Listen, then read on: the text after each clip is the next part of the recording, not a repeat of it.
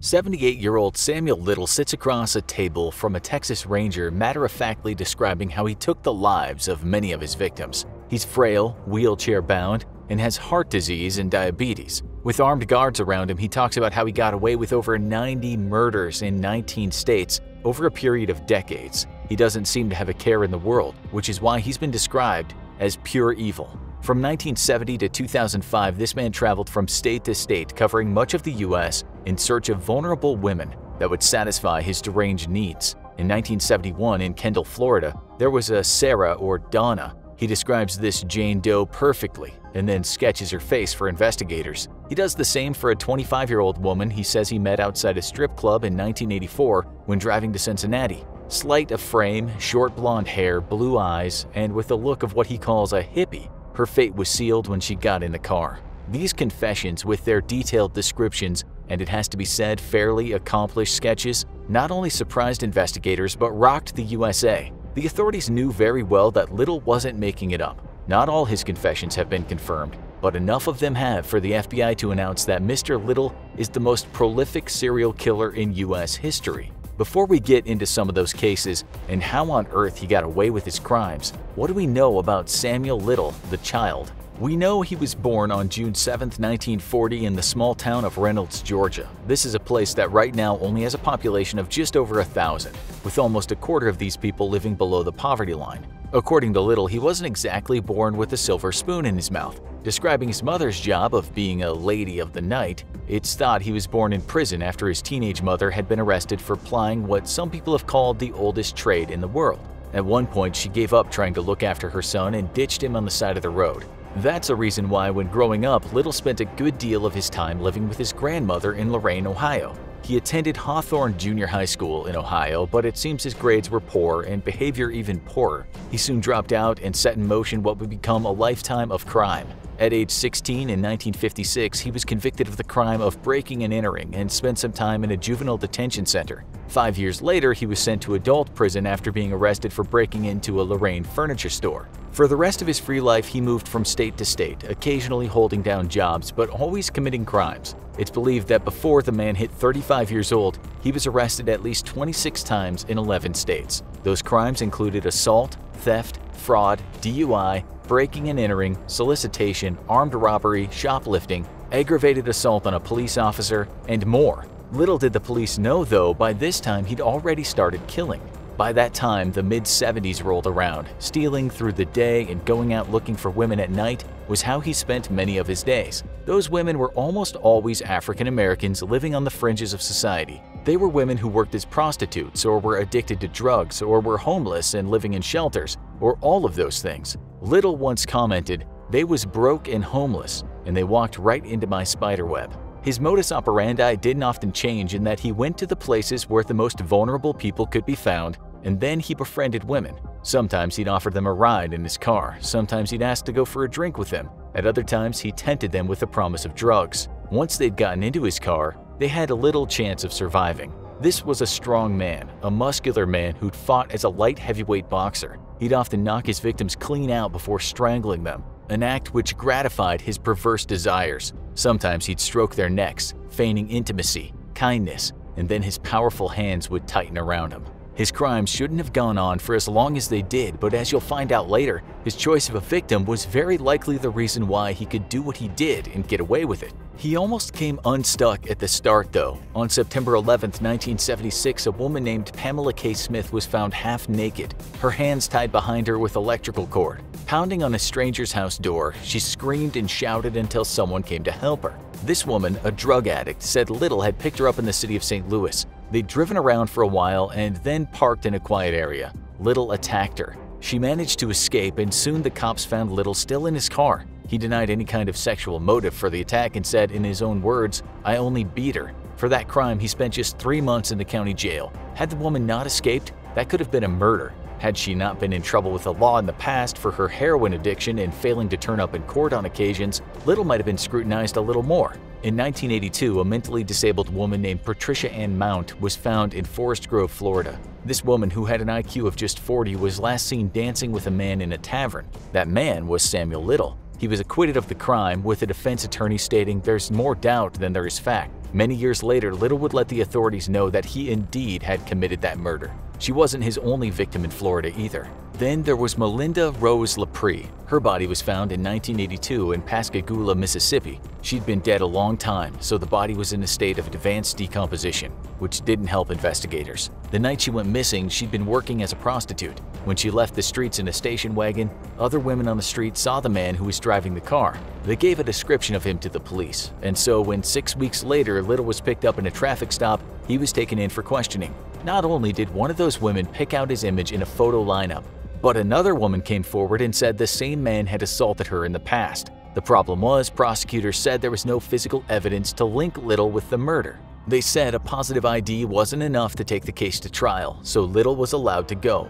An even worse blemish on the justice system is the fact that the district attorney's office said it wasn't happy about prosecuting a man when the only witnesses were prostitutes. Investigator Darren Versiga later said that the police back then were hesitant to believe assault claims from black prostitutes. Such discrimination is of course sad and patently unethical, but it's not that unusual, and certainly wasn't so unusual in the past. You'll see there's a term in the world of crime called the less dead people. These are the folks that serial killers often prey on. They're the poorest, most disenfranchised citizens, folks who can go missing and no one even reports it. Sometimes they end up as Jane or John Does, even if the police do have an ID. Due to their low socioeconomic status and in some cases their rap sheet, they might not exactly drum up a lot of sympathy from the public or be the most pressing cases for homicide detectives. They were seen as less alive, less valued before they died, and so when they did die, they became less dead even though you'd think they'd elicit the most sympathy given their difficult circumstances. This is how one person described how law enforcement sometimes treats the less dead. A great deal less pressure is felt by the police when victims of crime come from the marginal elements. Samuel Little knew what he was doing by targeting society's most vulnerable. He talked about it once in an interview, saying, I never killed no senators or governors or fancy New York journalists, nothing like that. I kill a journalist, it'd be all over the news the next day. I stayed in the ghettos. The FBI has since said that many of his victims didn't look as though they'd been murdered. Since he punched and strangled the women, police often thought the cause of death was a drug overdose, or an accident, or death from natural causes. Still, others have written that police didn't look hard enough, and that's because the lives the women had led. Perhaps rather than rigorously scrutinize the cause of death, a death of a woman with a history of petty crime or drug use was sometimes overlooked. If you look at Little's many victims, almost every single one of them fits into the less dead category. We'll get around to them soon, but first let's see how Little was caught. In 1984, he was arrested in San Diego. He kidnapped one prostitute and left her for dead on a dirt road. And then a month after that, he was found on that same dirt road with an unconscious woman in his car. Both women had been hit hard and then choked, but both of them survived the ordeal. A jury couldn't reach a verdict, and Little in the end pled guilty to the crimes of false imprisonment and assault with great bodily injury. He was out after only two and a half years, then moved to Los Angeles. During this time in the City of Angels, it's thought he killed at least another 10 women and at one point was arrested for possession of cocaine. He never turned up in court and then fled LA. He moved around yet again and had many brushes with the law, although because the warrant for his drug possession charge was non-extraditable, he was never sent back to LA to face the charges. It wasn't until September 5, 2012, when he was staying at a homeless shelter in Louisville, Kentucky, that his web of crime started to become untangled. An LAPD detective named Mitzi Roberts had been working on murder cases, and she found that Little's DNA could be connected to two murders. He eventually was extradited to California on a narcotics charge, and it's there that DNA testing linked him with a third murder. Shortly after this, the Florida Department of Law Enforcement was in contact with police from Mississippi, Alabama, and Georgia. Los Angeles detectives were talking to these people too, and it soon became apparent that this is the guy that could have killed the women from one coast of the US to the other. He was charged in 2013 for the murders of three women in LA. One had been found in a dumpster, another in a garage, and the third down an alleyway. All three had been strangled. For those brutal crimes, he was sentenced to life imprisonment without the possibility of parole, all the time maintaining that he was an innocent man. It wasn't until 2018 when Little started dropping confession bombs. He was 78 and on the verge of death, and it's then that he started talking to law enforcement from various US states. These confessions solved the cases of many deaths police had deemed suspicious, as well as unsolved murders. Little had a good memory when it came to faces and how he'd killed each victim, although he wasn't always good with dates. What was surprising was the fact that he was able to accurately sketch many of the people he'd murdered. While cops might have suspected him to be behind a lot of murders, they weren't prepared for what he told them. They were in fact interviewing the most prolific serial killer in American history. There's such a thing as serial killers that have claimed to have killed many more people than they are convicted of killing. It said serial killer Gary Ridgway might have killed many more than the 49 people he was convicted of killing, but that's not been proven. Richard Cottingham, aka the Butcher of Times Square, claimed to have killed 85 to 100 people during his 13 years hunting down women, but it remains to be seen if that's true. As for Little, it's now thought that he killed 93 people, but the FBI has said for now they can only confirm that he killed 60 women. It's likely he killed his first person back in 1970. The FBI had said this about Little's confession. He remembers where he was and what car he was driving. He draws pictures of many of the women he killed. It's very likely he did kill 93 women, given his honesty about the other murders and the details he could recall although corroborating his stories is still a work in progress. We'll give you some examples of what he told the FBI. The reason the FBI has put these examples on its website is so someone might be able to help them with their investigation. Maybe some of our viewers could be of help after hearing this. Little said sometime between 1992 and 1994 he met an African American woman in an area of Little Rock, Arkansas. He said it was a cold night and that it might have been snowing.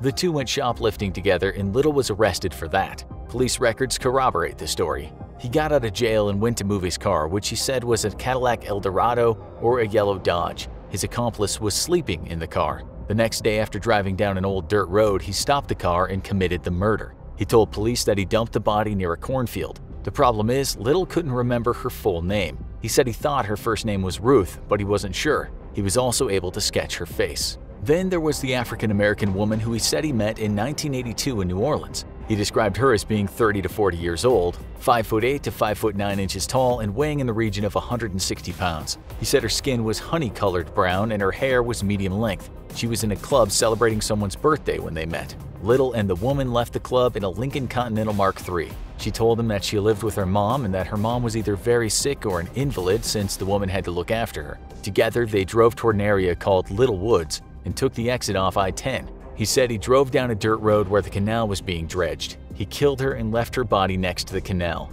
He drew a picture of her, too.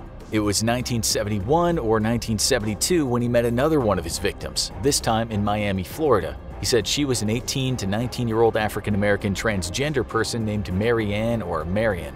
She was 5 foot 6 to 5 foot 7 inches tall and weighed around 140 pounds. The two met at a place called the Pool or Pool Palace, which Little said was on 17th Avenue in Miami. It wasn't until a few days later that they met again. This time the location was the historic Overtown neighborhood. During these meetings, he said he learned that she lived with a bunch of roommates in either Brownsville or Liberty City. Little said he turned up at that house and one of the roommates asked him to go out and buy some shaving cream. He agreed and set off in his gold four-door Pontiac Le Mans. Except he had no intention of buying the cream. Instead, he and Marianne headed north on Highway 27. He said he stopped the car close to the sugarcane field and killed her there in someone's driveway. He then continued down Highway 27 until he reached the Everglades. He turned down a dirt road until he arrived at the river or a swamp. He dragged the body through the mud and the water and left the scene.